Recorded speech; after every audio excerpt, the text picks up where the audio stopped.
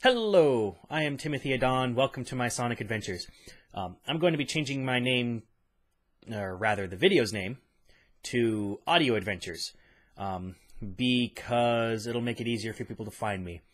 If you search for Sonic Adventures on YouTube, you will find a whole lot of Blue Hedgehog, and uh, yeah, that doesn't really work out. Um, so today's video is going to be on screen capture software and how to get it to work with your digital audio workstation. This is very important because I ran into a lot of issues with this, and there aren't a lot of answers for it on the internet. Um, unless you're using a Mac, in which case there are plenty of problem solvers. Um, but if you're if you're using a PC like me, then you need a workaround. And I found a relatively simple workaround that I'm surprised I didn't see more of online. So I'm going to show that to you really quick. Um, and that's going to require looking at my hardware. So I'm going to pick you up. That is my M Audio Fast Track Pro. It is what I am using to connect to my digital audio, digital audio workstation. Um, if you look right there, that is the XLR input that I am using to record my voice right now.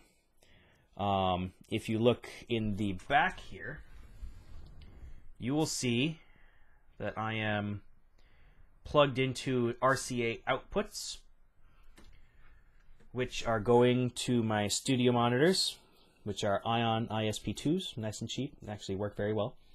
Um, and then from there, I've got the USB plugged into my laptop. Um, the important part is that I've got a quarter inch out of the headphone jack to an eighth inch line in microphone jack on the laptop. That is very important. Um, and now we will go onto my laptop to show you everything else that you need to do in order to make make sure that the screen capture software works. All right, so now we are on my laptop. Um, I use Windows 7, a uh, Dell Inspiron laptop. Um, so I showed you how to hook up all the hardware. So now we got to figure out how to hook up the software.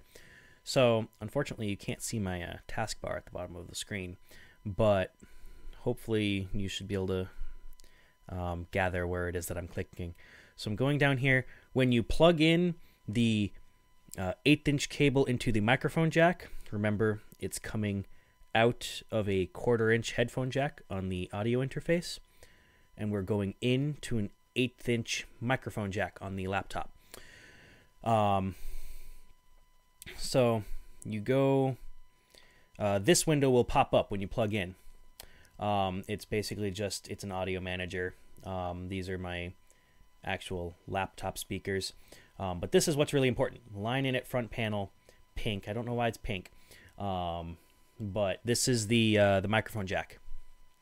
Um, you want to make sure that it's all the way up and that it's not muted, the recording volume.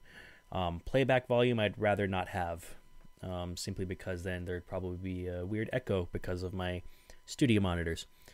Um, and then it's recording in the right format. stereo mix is all the way up. All right, so you hit OK on that. And now that is fine.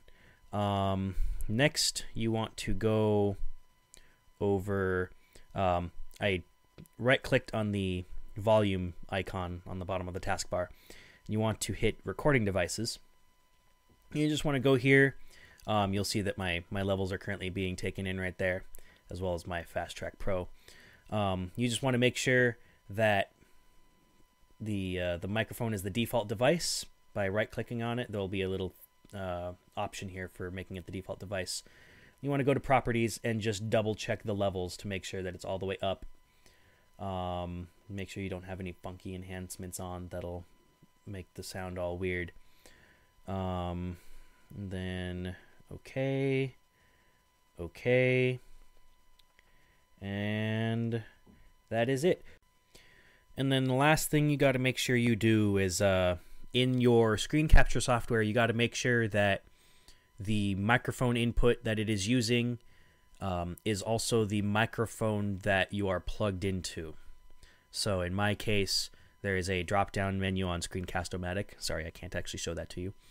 Um, and I just have to pick the line in microphone that's labeled pink, and it'll be all set. Um, you'll notice right here that here, let me just play this for you, and then you'll know for a fact that it works. My methods of writing music reviewed. Um, you'll know that that is the audio for my introduction video, which is going to be um, the subject of my next video, which will either be coming up this week or next week. Most likely this week because this is going to be a very short and easy video. Um, anyways, I hope you enjoyed this video and I hope it was very helpful. Thank you for joining me on my audio adventures. Have a good day.